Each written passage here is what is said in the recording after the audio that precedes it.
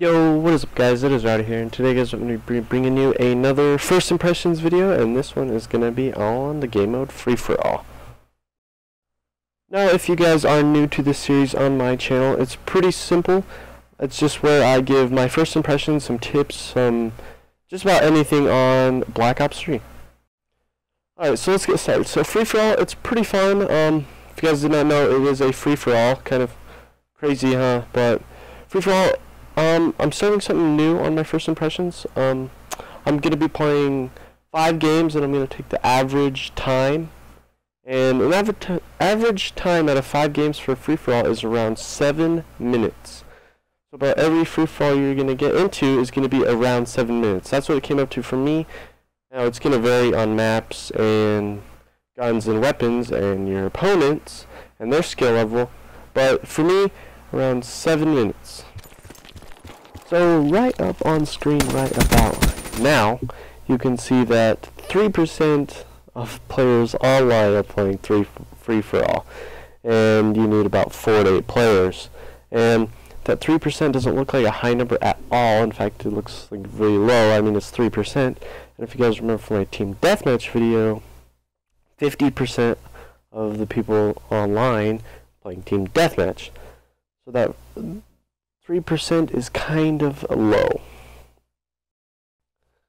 So since this is a first impressions video, I need to give my first impressions, and honestly, the first time I jumped into a free-for-all in Black Ops 3, I didn't enjoy it very much. I wasn't sure why, and then as I started playing more, um, I've gained a knowledge why I didn't like it as much when I first started, so if you guys did not know, the easiest and most effective way to win a free-for-all as you can see on screen right now, is to lock down an area of the map. Right here, I'm on the map Stronghold using the HVK, and I'm just watching one section of the map, kill someone, and turn around and watch a different section of the map. And I notice it's a lot harder to do in this game, and I'm not really sure why. It's Maybe it's just the different movement, um, but that's the most effective way, and it's a little more difficult to do in this game. So like I just said, the most effective way to win a free-for-all is lock down a section of the map. If you guys want to be winning free-for-alls and just doing good in general in the game mode free-for-all, you need to lock down a section of the map.